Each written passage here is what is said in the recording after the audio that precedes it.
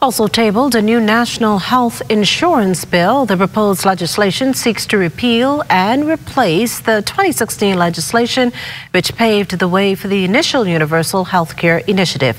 Health Minister the Honorable Dr. Michael Darville sees it as a necessary move as the current legislation no longer meets the needs of the country's health care system.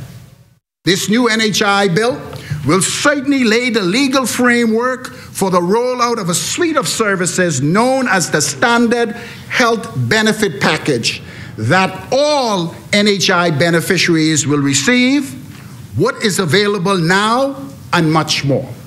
Some of these services include primary health care services, health education and promotion, early detection and preventative care, diagnostic imaging, pediatric and maternity care, and of course, screening programs for cancers and other specific conditions, particularly in their early stages.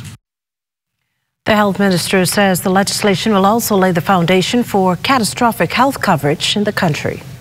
Catastrophic care is a priority for this administration, and this piece of legislation will prove to be the step necessary for the expansion of primary health care benefits, along with robust health wellness programs across our country as we push towards universal health coverage.